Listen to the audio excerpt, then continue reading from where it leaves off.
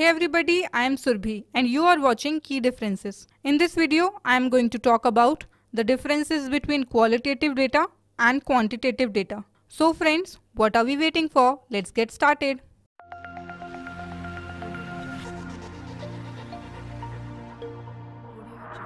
Qualitative data.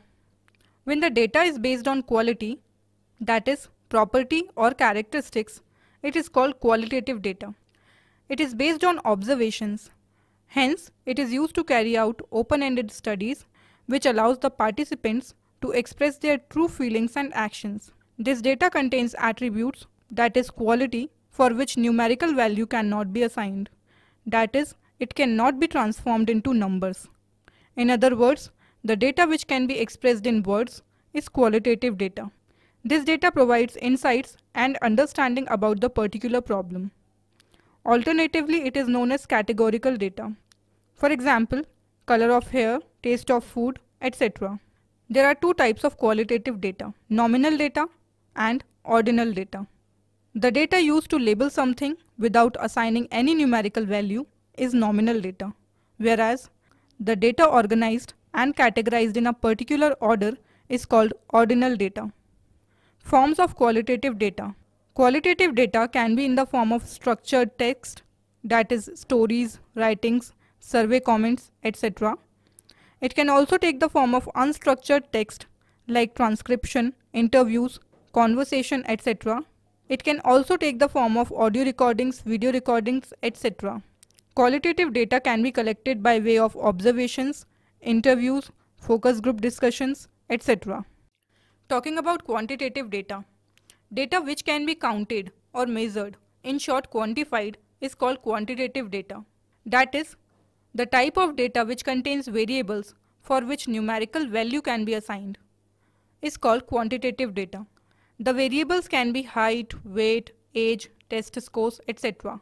Quantitative data can be expressed in numbers and statistics such as units, price, rate of change, and ratios. Because this data is in numerical form, it can be used in computations and statistical tests. It can be easily presented in tables, charts, graphs, etc. For example, number of pets, date, temperature, etc. Further, quantitative data are of two types, that is discrete data and continuous data. Anything that can be counted comes under discrete data, or we could say data which has finite number of values is discrete data, whereas anything that can be measured comes under continuous data. In this data, possible values falls on a continuum. The methods used for collecting quantitative data include survey, interviews, questionnaire, experiment, opinion poll, etc. Moving on to the difference between qualitative data and quantitative data. Meaning, the data type in which classification of objects is based on attributes is called qualitative data. Qualitative data is non-numerical data which explains opinions and feelings of a person. Whereas the type of data which can be counted and expressed in numbers and values is called quantitative data. It can be numerically analyzed and quantified into solid facts. Research methodology. The research methodology is exploratory in qualitative data. That is, it is used to provide insights and understanding about a particular subject. On the other hand, quantitative data is conclusive in nature, which aims at testing a specific hypothesis and examining the relationships. Nature. Qualitative data is descriptive. That is, it uses words and language. It is basically text-based. As against, quantitative data is countable or measurable. That is, it is related to numbers. Hence, it is number-based. What type of questions it answers? While qualitative data describes attributes, and so it helps in understanding why and how behind any behavior. Quantitative data on the other hand explains how many, how much and how often. How do we collect this data?